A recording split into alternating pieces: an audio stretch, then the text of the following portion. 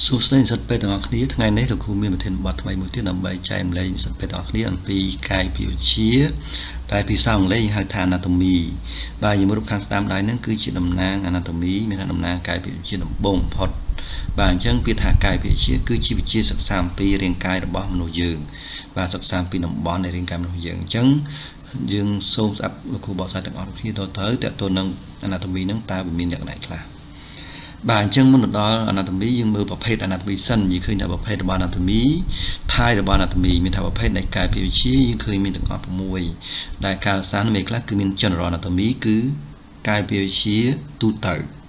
ដែលហ្នឹងគឺសំខាន់សម្រាប់និស្សិតឆ្នាំទី1ដែលនឹងខ្ញុំបកស្រាយក្នុងមេរៀនហ្នឹងបាទអញ្ចឹងហ្នឹងគឺជាកាយវិទ្យាដែលតទៅនឹងទូទៅតែម្ដងបាទហើយទី2គឺហៅ topographic anatomy មានន័យថាកាយវិទ្យាដែលសិក្សាអំពីទីតាំងនៃរាងកាយ ហើយទី3គឺ descriptive anatomy មានថាកាយវិទ្យាដែលសិក្សាអំពីការពណ៌នាអំពីសរីរាង្គកាយប្រហែលពណ៌នាអំពីកាពះពណ៌នាអំពីបេះដូងឯណាគឺជា descriptive anatomy ហើយទី3គឺទី4គឺ functional anatomy គឺកាយវិទ្យាដែលសិក្សាអំពីមុខងារនៃសារៈនៃរាងកាយអានឹងវាស្តៀង physio ដែរគាត់ថាគេផ្ដោតលើ anatomy ច្រើនជាង physio បាទអញ្ចឹងជានឹងកាយវិទ្យាសិក្សាអំពីមុខងារនៃរាងកាយ ហើយទី5គឺ clinical anatomy យើងបកថាគឺកាយវិទ្យាដែលតកតងនឹងជំងឺមានថាឧបមាថាកាពះមួយអញ្ចឹងរៀនពីកាពះមួយអញ្ចឹងគេនិយាយពីជំងឺតកតងកាពះតកតងនឹងការវះកាត់បាទតកតង anatomy នឹងវាមានខ្លះបាទអញ្ចឹងខាង clinical anatomy គឺកាយវិទ្យាដែលសិក្សាអំពីសារៈនៃរាងកាយដែលតកតងនឹងជំងឺណាមួយទៀតគឺ operative anatomy តែម្ដងគឺកាយវិទ្យាដែលតកតងនឹងការវះកាត់ បាទអញ្ចឹងអាពីរចុងក្រោយនោះគឺសំខាន់សម្រាប់និស្សិតអង្គតែឬក៏និស្សិត DS ដែលត្រូវចេះបានច្រើនព្រោះនឹងតកតងនឹងមុខជា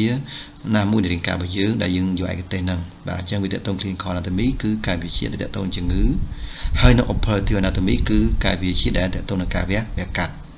បាទអញ្ចឹងសភុអាណាតូមីវាមានតាមកម្រិតហ្នឹងដែរបាទអញ្ចឹងសវណ្ណសិទ្ធឆន្ទទី1ដែលទំចូលដំបូងគឺយើងសិក្សាពី3ដំបូងហ្នឹងដែលល្អជាងគេហ្នឹងគឺ1 2ហ្នឹងដែលសំខាន់ហ្នឹងទី2ទី3ហ្នឹងគឺសវណ្ណសិទ្ធឆន្ទទី2ទី3ហ្នឹងហើយនៅឆ្នាំទី4ទី5បន្តរហូតដល់ DS ហ្នឹងគឺរហូតដល់និស្សិតចេញជាគ្រូពេទ្យក៏ដោយនៅត្រូវការមើលដែរគឺនៅទីចំណុចចុងក្រោយហ្នឹង បាទអញ្ចឹងប្រភេទ anatomy យើងមានមើលហ្នឹងបាទអញ្ចឹងយើងមើលតើតូននឹង anatomy តើយើងយើងដំបូងគឺតំបន់នៃរាងកាយរបស់យើងគឺមានតំបន់ឯខ្លះបាទអញ្ចឹងហៅ region anatomic ឬអង់គ្លេសហៅ anatomical region មានថាយើងហៅតំបន់នៃរាងកាយបាទអញ្ចឹងគឺមើលក្នុងនោះវាមានពីរភាសាជាភាសាបារាំងហើយនិងអង់គ្លេសបាទអញ្ចឹងយើងមើលទី1គឺតកតូននឹងតែតបាទអញ្ចឹងតែតវាគឺគឺតកតូននឹងក្បាលបាទអញ្ចឹងហៅក្បាលតែតដែលអង់គ្លេសហៅគេហៅ ណា head បាទ head ណាបាទអញ្ចឹងក្បាលវាមានពីរតំបន់ទៀតគឺមាន crown ហើយនិង face ដែលអង់គ្លេសហៅ skull ហើយនិង face បាទគឺមានរលាកក្បាលចឹងលាកក្បាលហើយនិងផ្ទៃផ្ទៃមុខបាទយើងឃើញមានពីរតំបន់ទៀតអានោះគឺជាក្រានយើងហៅថាលលីក្បាលចឹងលលីក្បាលហើយនឹង face អានោះផ្ទៃមុខណាអញ្ចឹងអង់គ្លេសយើងហៅណា skull ហើយនិង face បាទឆ្អឹងលលីក្បាលហើយនឹងផ្ទៃផ្ទៃមុខបាទយើងមើលជាបន្តទៀតគឺតកទៅនឹងក បាទកយើងហៅគូអង់គ្លេសហៅ neck បាទនេះកបាទអញ្ចឹងជាបន្តទៀតទី2គឺកបាទកអង់គ្លេសហៅ neck តទៅទៀតគឺលើតរៈបាទលើតរៈអង់គ្លេសតរៈដែរអញ្ចឹងយើងបកថាទ្រូងណាទ្រូងបាទទ្រូងយើងមើលតទៅទៀតគឺតទៅនឹង abdomen ដែលអង់គ្លេស abdomen ដែរយើងបកថាពោះតំបន់ពោះនេះយើងឃើញតំបន់ពោះហ្នឹងគេហៅ abdomen ហើយមួយជាបន្តទៀតគឺតទៅនឹងបាសាំងឬអង់គ្លេសហៅ pelvis បាទខ្មែរយើងហៅអាងតគីហៅ pelvis ឬក៏ប្រតិបាបាសាំងបាទអញ្ចឹងប្រាំងដូចអង់គ្លេសហៅ pelvis ឬក៏ប្រតិបាសាំងគឺអាងអាងតគីបាទអញ្ចឹងហ្នឹងគឺទាំង4ហ្នឹងយើងឃើញថាទាំង3ហ្នឹងបង្កើតបានជាអីគេហៅដងខ្លួនគេហៅត្រង់ឬអង់គ្លេសហៅត្រាំងដងខ្លួនអញ្ចឹងដងខ្លួនយើងឃើញមានទ្រូងយើងឃើញមានពោះហើយនឹងអាងអានគី បាទយើងជាបន្តទៀតគឺតកតទៅនឹង member superior ដែលភាសាអង់គ្លេសហៅថា upper lip បាទគឺអវយវៈខាងខាងលើ ហើយនឹង member inferior ដែលបារាំងហៅ member inferior អង់គ្លេសហៅ lower lip គឺអវយវៈខាងខាងក្រោមបាទអញ្ចឹង member superior យើងសេកាត់គឺ MMS វាស្មើនឹងអង់គ្លេសហៅ low upper lip បាទហើយនឹង member inferior យើងស្កាត់គឺ ME ដែលអង់គ្លេសហៅ lower lower lip បាទហ្នឹងគឺជាតំបន់កាយវិទ្យាសំខាន់សំខាន់នៃរាងកាយរបស់យើងគឺមានប៉ុណ្ណឹងដែលបងប្អូនត្រូវរៀនលម្អិតទាំងអស់នៅតំបន់រាងកាយមួយមួយហ្នឹងគឺពេចចេញពីតំបន់រាងកាយហ្នឹងឯងទៅមួយមួយណាបាទអញ្ចឹងយើងមើលជាបន្តទៀតគឺតកតទៅនឹងជំហររបស់កាយវិទ្យាដែលភាសាបារាំងហៅ position anatomic អង់គ្លេសហៅ anatomical position បាទអញ្ចឹងយមន័យវាមើល position anatomic ឬក៏ anatomical position គឺថាគឺជាជំហរមួយមានថាគឺជា position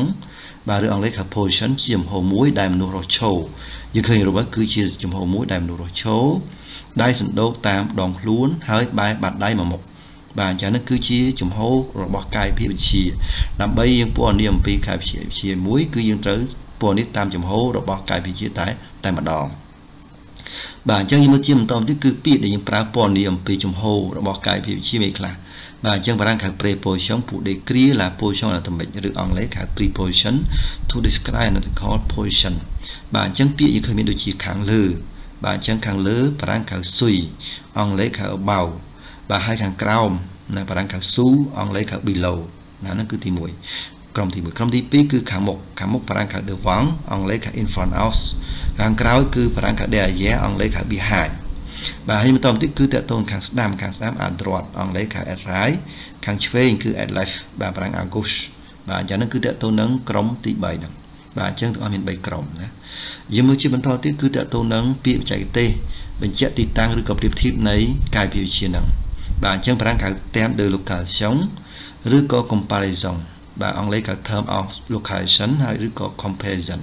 បាទអញ្ចឹងមើលពាក្យក្រាន់ញ៉ា បាទអញ្ចឹងក្រាន់ញ៉ាយើងបកថាខាងក្បាលឬក៏ខាងលើបាទកូដាលកូដាលយើងបកថាខាងក្រោមឬក៏បាទខាងខាងកតុយខាងជើងវិញណាបាទអញ្ចឹងអង់គ្លេសខាងក្រាន់ញ៉ាឬក៏កូដលយើងមករូបណាអញ្ចឹងខាងលើគឺក្រានក្រាន់ញ៉ាបាទអញ្ចឹងក្រាន់ញ៉ាខាងលើឬក៏វាស្មើនឹងពាក្យ superior ហ្នឹងបាទហើយកូដាលវាស្មើ inferior ខាងក្រោមហ្នឹងឬក៏ខាងក្បាលហើយនិងខាងជើង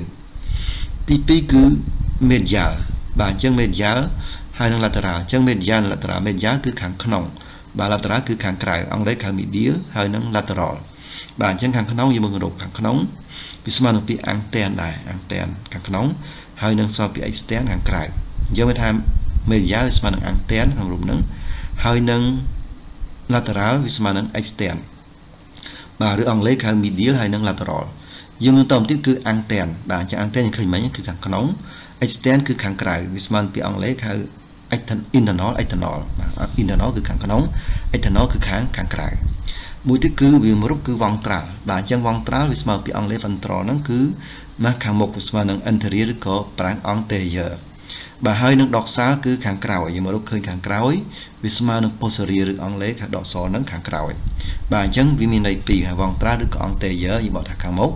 dorsal ហើយនឹងឬក៏ posterior ខាងក្រោយអញ្ចឹងវងត្រាល់ជាគូន dorsal anterior ជាគូនឹង posterior បាទឬក៏អង់គ្លេសហៅ ventral ជាគូនឹងអឺ dorsal ហើយ anterior ជាគូនឹង posterior មានថា ventral គឺខាងមុខ dorsal គឺខាងក្រោយឬក៏ anterior ឬក៏ posterior ខាងមុខខាងក្រោយដូចគ្នាបាទយើងមើលជាបន្តទៀតគឺ proximal distal បាទអញ្ចឹង proximal គឺខាងដើមមានថានៅជាប់គល់អវយវៈផ្នែកខាងដើមនៃអវយវៈហៅ proximal ខាងដើម distal គឺខាងចុងនៅឆ្ងាយចេញពីអវយវៈ បាទអញ្ចឹងហើយជាអវយវៈយើងហៅថា distal អញ្ចឹងខាងខាងដើមហៅ proximal ខាងចុងហៅ distal ឬអង់គ្លេសហៅ proximal distal ដូចគ្នាណានេះឃើញរូបបាញ់ហើយហើយមួយទៀតគឺ superior បាទ superior ខាងលើបាទ inferior គឺខាងក្រោមនេះស្មើពីអង់គ្លេសហៅ superior inferior បាទអញ្ចឹងយើងមើលជាបន្តទៀតគឺតកតទៅនឹង superficial បាទអញ្ចឹង superficial មានថាវានៅរាក់រាក់ profound វានៅជ្រៅអង់គ្លេសហៅ superficial ឬក៏ profound ឬក៏ depth បាទនៅជ្រៅ បាទមួយទៀតគឺម៉ាំងបើយើងនិយាយពីដៃវិញយើងឃើញម៉ាំងតកតូនរបស់ដៃវិញបាទអញ្ចឹងនៅពេលដែលយើងនិយាយបាតដៃសំដៅលើ palmar វាស្មើនឹង anterior បាទអញ្ចឹងម៉ាំងអង់គ្លេសគឺហៅ hand palmar បារាំង palmar បាទបាតដៃមានថាខាងមុខបាទស្មើនឹង anterior បាទជើងយើងវិញជើងប្រអប់ជើងយើងវិញយើងគេថាព្ជេ plantar plantar មានថា fast inferior បាទ fast inferior បាទអញ្ចឹង fast inferior បាទដូចដូចជេ បាទអញ្ចឹង fast inferior ដូចជេគឺវាស្មើនឹងអង់គ្លេសហៅ foot plantar បាទអញ្ចឹង plantar តកទៅនឹង plantar 5បាទហើយនឹង inferior surface of foot បាទផ្ទៃខាងក្រោមនៃជើងរបស់យើងបាទអញ្ចឹងពីតែ plantar គឺផ្ទៃខាងក្រោមនៃនៃជើងដល់ទៀតគឺ homolateral បាទជា homolateral មានថានៅចំហៀងជាមួយគ្នាអមថាដូច radius និង ulna អញ្ចឹងវា same size ហ្នឹងគឺនៅចំហៀងជាមួយគ្នាគេ homolateral បាទហើយនៅចំហៀងផ្ទុយគ្នាអង្គថា contralateral អង្គក្នុងរូបអញ្ចឹងបាទអញ្ចឹងដៃឆ្វេងដៃស្ដាំឬក៏ដៃស្ដាំដៃឆ្វេងអញ្ចឹងប្រច្រាស់គ្នាហ្នឹងគឺ contralateral ឬក៏ដៃខាងឆ្វេងជាងខាងស្ដាំអញ្ចឹងហ្នឹងគឺ contralateral ឬអង់គ្លេសខាង contralateral បាទអញ្ចឹងនោះគឺដូចគ្នាអញ្ចឹងហៅមូលត្រានៅជំនាញមួយគ្នាកុងត្រូលត្រានៅជំនាញផ្ទុយផ្ទុយគ្នា